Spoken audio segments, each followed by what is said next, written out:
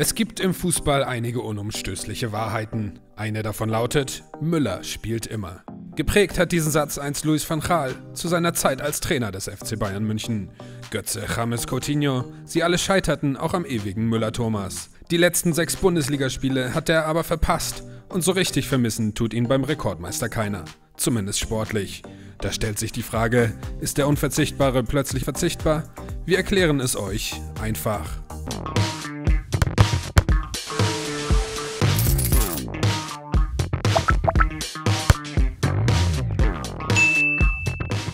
Der Prozess ist meistens schleichend, aber selbst bei den Bayern werden die größten Stars manchmal zu Statisten. Manchmal geht es aber auch ganz schnell. So geschehen bei Thomas Müller. Ja genau, der Müller aus Müller spielt immer. Aber der Reihe nach.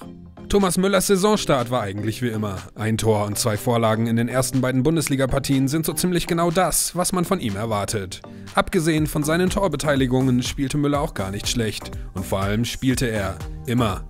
Supercup, Liga, Pokal, Champions League. Wettbewerbsübergreifend stand er 15 Mal im Kader. Meistens spielte er von Beginn an.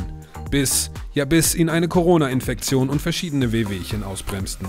Seit Anfang Oktober fehlt der Oberbayer nun in der Liga. Nur in der Königsklasse wurde er zweimal eingewechselt. Als Identifikationsfigur und Leader ist Müller eines der Gesichter des deutschen Rekordmeisters. Durch seine manchmal etwas flapsige Art ist Radio Müller über die Vereinsgrenzen hinaus für seine Kommunikation in und um den Verein bekannt.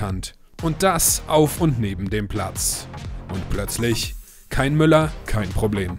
Seit der 33-Jährige ausfällt, läuft es bei den Bayern rund. Und zwar so richtig. In den acht Partien, die Müller bislang verpasste, gab es außer dem Remis in Dortmund nur Siege.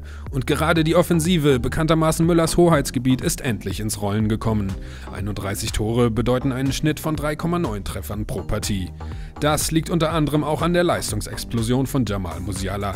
Der Star von morgen hat das Potenzial, aus Müller einen Star von gestern zu machen.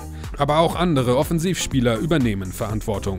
Auf einmal trifft Eric Maxim Choupo-Moting wie am Fließband. Auch Sadio Mané kam immer mehr in Tritt. Außerdem wird Matisse Tell immer mehr zu dem Spieler, für den die Bayern im Sommer eine Rekordablöse für einen 17-Jährigen bezahlt haben. Ganz zu schweigen von den bereits etablierten Stammkräften Gnabry, Sané und Coman, die ebenfalls liefern. Ist Thomas Müller also verzichtbar geworden? In der Bundesliga wird er wohl dieses Jahr nicht mehr auflaufen. Gegen Schalke soll Müller geschont werden.